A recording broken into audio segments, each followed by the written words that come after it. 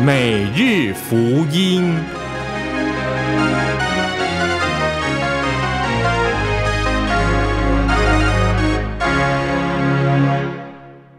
大家好，欢迎聆听每日福音，我是伟伟。今天是常年期第三十三周，十一月二十日，星期二。福音经文在路加福音第十九章第一节。那时候，耶稣进了耶里哥，经过这城时，有一个人名叫杂凯，是做税吏长的富翁。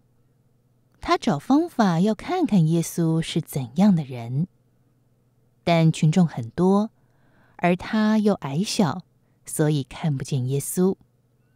于是他就跑到前头，爬上一棵桑树，好看清楚耶稣，因为那是他的必经之路。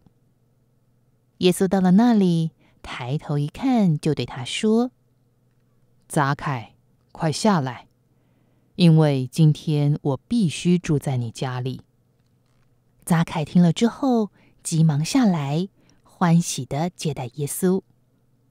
众人看见了，就抱怨批评说：“哼，罪人的家，他竟然要进去投诉呢！”扎凯就站起来对主说：“主啊，你看，我要把财产的一半给穷人。”如果我曾经敲诈过谁，我愿意偿还四倍。耶稣对他说：“今天救恩来到了这一家，因为他也是哑巴郎的子孙。而人子来是要寻找和拯救迷失的人。”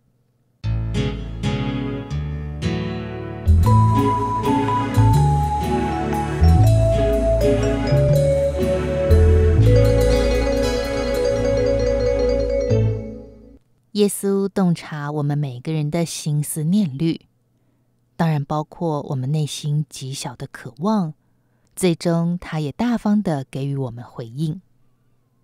我们看今天福音当中，一个被所有人讨厌和躲避的税吏杂凯，原本他只是想看看耶稣，没想到却蒙得耶稣厚爱，最后还到他家做客。